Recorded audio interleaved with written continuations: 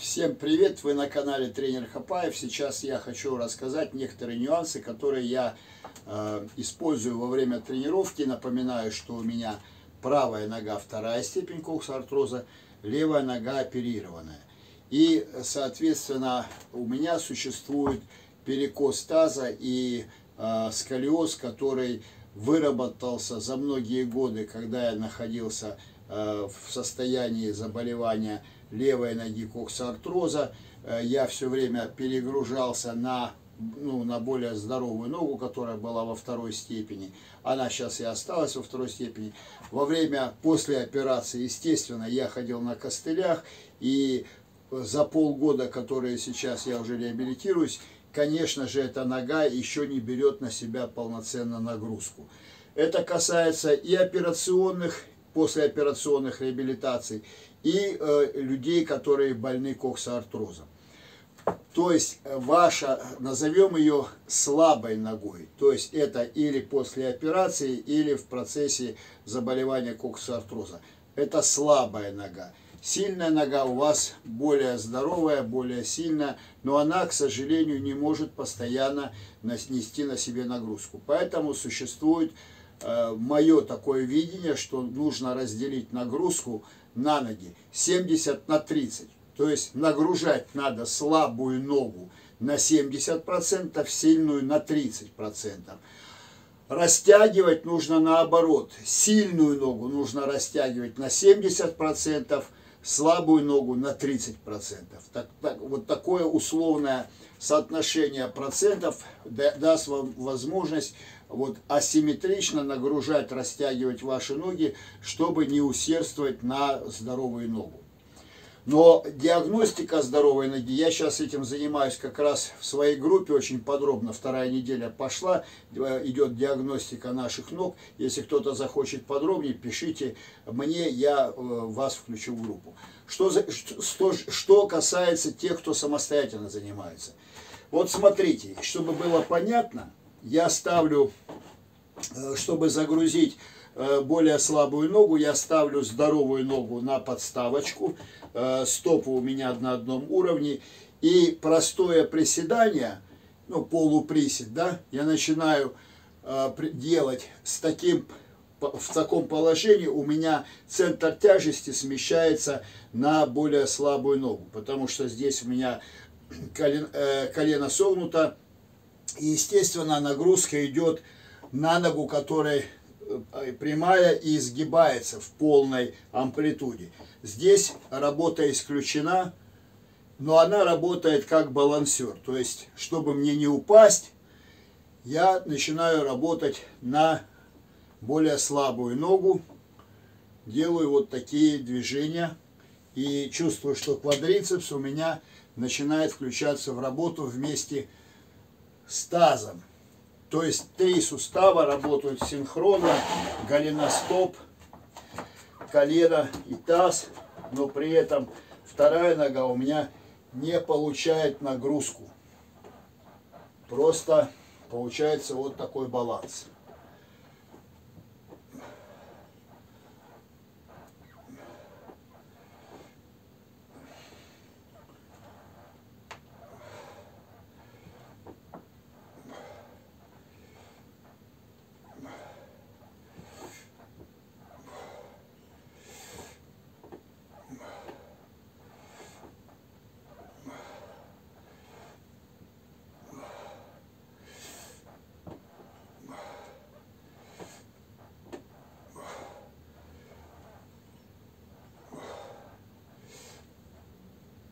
Работают синхронно три сустава, мышцы все работают на более слабой ноге.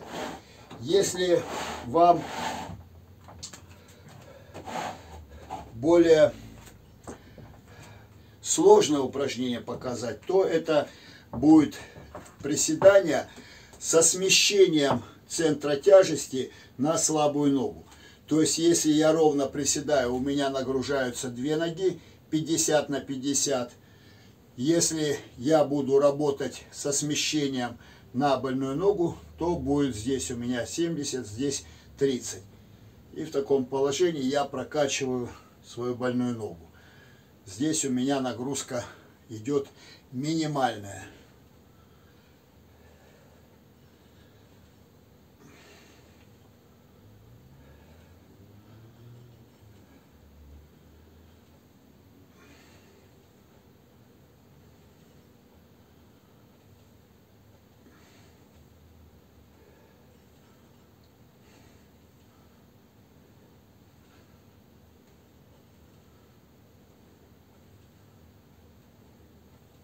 Если вы сейчас будете повторять за мной э, вот эти подходы, то вы почувствуете сразу. Еще другой вариант, чтобы загрузить э, более слабую ногу, можно поставить ногу на носочек в таком положении, повыше. Можно поставить просто на пол, как вам удобно. Можно завести за ногу, то есть регулируя таким образом здесь более легко, здесь более сложно, здесь еще сложнее. И совсем сложно, если вы будете делать это движение э, на одной ноге, заворачивать еще корпус и будете чувствовать, как в работу вступает, соответственно, эта более слабая нога.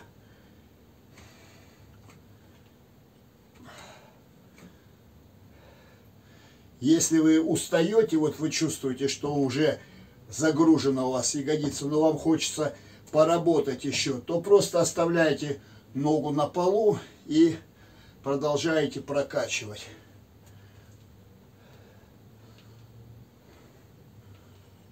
Повторяю, для реабилитации это отличный комплекс и для коксартрозника, который хочет заставить работать ногу,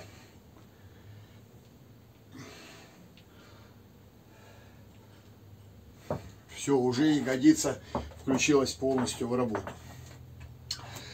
Попробуйте сделать такие вариации, и потом в, в комментариях напишите, как вы это себе почувствовали. После сразу данной тренировки вы уже прохаживаясь, будете чувствовать, что ваша нога стабильно, жестко становится э, на землю, на пол и вы понимаете, что ваша нога находится в рабочем состоянии. Важно еще, конечно же, следить за своим пупком и за вот этой средней линией, которая является проекцией вашего позвоночника.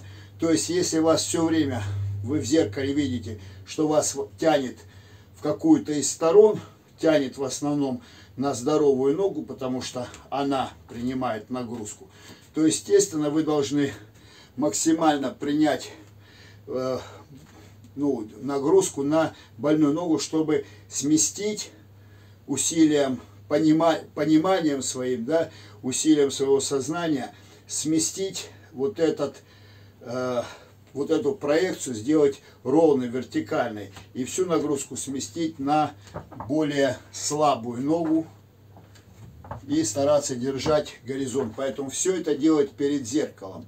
Вот я сейчас не вижу себя, потому что я на камеру работаю. Я не знаю, как это все происходит, но думаю, что все равно есть какие-то искажения, какие-то неровности. Но вот за счет таких подходов, как их можно выполнять? Вот есть у вас свободные 5-10 минут. Встали и поработали. Прокачали ногу в таком положении, в таком положении, в таком положении. То есть вы сами почувствуете, что нагрузка идет именно на слабую ногу. Эта нога работает просто как балансер. Вот. И поработать еще без ноги, вот с таким скручиванием, усилить работу средней ягодичной.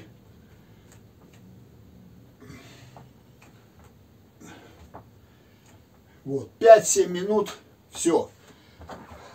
Поехали там куда-то в магазин съездили, на работу, пришли домой, решили, разложили продукты по холодильнику, подошли к зеркалу, посмотрели, что у вас происходит, и опять сделали подход. Потому что э, чем вы чаще будете повторять, тем больше будет меняться у вас вредные привычки. Потому что привычка ходить все время на здоровой ноге будет приводить вас к постоянным болям в поясничном отделе или в квадратных мышцах. Больше не загружаю. Всем спасибо за внимание. Живем без боли. С вами был тренер Хапаев. Пока.